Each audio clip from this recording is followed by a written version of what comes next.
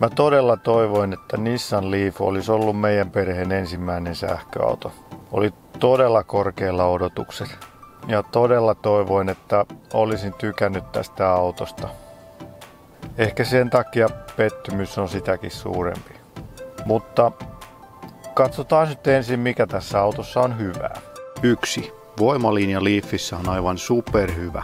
Tehoa ja vääntöä riittää ja liikennevaloista lähtee kuin hauki vesiliukumäestä. Ei suorituskyky tietenkään mitään Teslan tasoa ole, mutta ihan riittävä ripeä kaupunkiautoon. Käyttömukavuus e-pedalin kanssa on todella hyvä. Leafia on helppo ajaa pelkällä kaasupolkimella, koska jalan nostaminen kaasulta jarruttaa kohtuullisen voimakkaasti ja samalla lataa akkuja. Jarrupolkimeen tarvitsee koskea vain paniikkitilanteissa.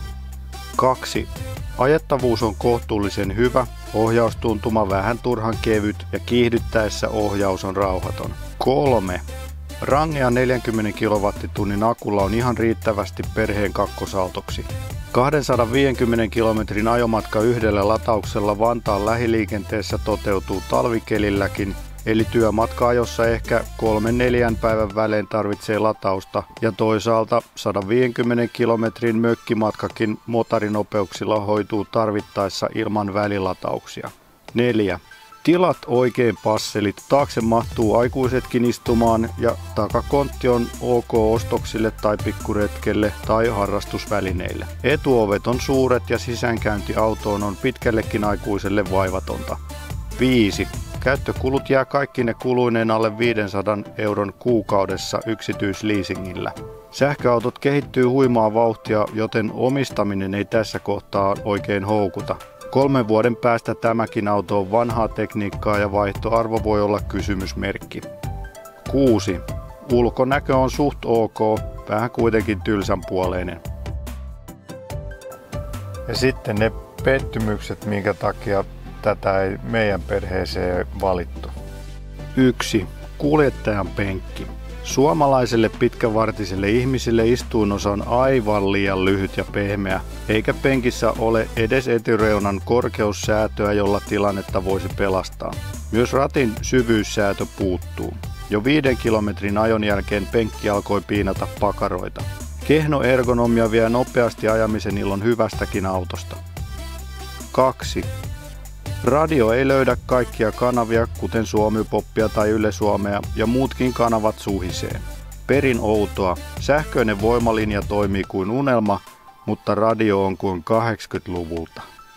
3. Epäergonominen kojelauta ja pitkälti yli 50 nappulan viidakko. Osa nappuloista on varmaan ollut käytössä jo 80-luvulla. Kosketusnäyttö on suttuinen ja epätarkka. Tämä on ihan yleinen japanilainen linja. Käytetään varmaa hyväksi havaittua tekniikkaa ergonomian ja muotoilun kustannuksella. Mua tämä ärsyttää suunnattomasti. 4.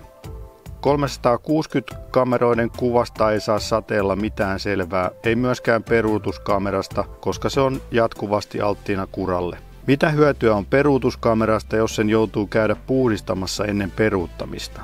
No, nämä on näitä ensimmäisen maailman ongelmia.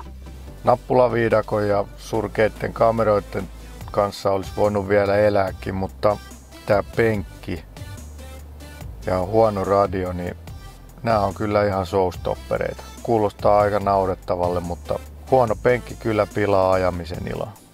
Eli meille tämä ei ollut sopiva, mutta ihan varmasti monelle tässä on tosi hyvä käyttöauto. Jos on alle 180 senttiä ja et on niin kranttu radion suhteen, eikä sun silmääs pistä nämä vanhat nappulat, niin tässä on todella hyvä kulkuneuvo. Omasta puolestani totean, että Leaf on hyvä ja taloudellinen kulkuneuvo. Valitettavasti vaan japanilaista mitotusta ja designia. Jos sähköautot ja autot kiinnostaa, niin laitapas kanava tilaukseen. Nissan tee kunnon auto! Peri.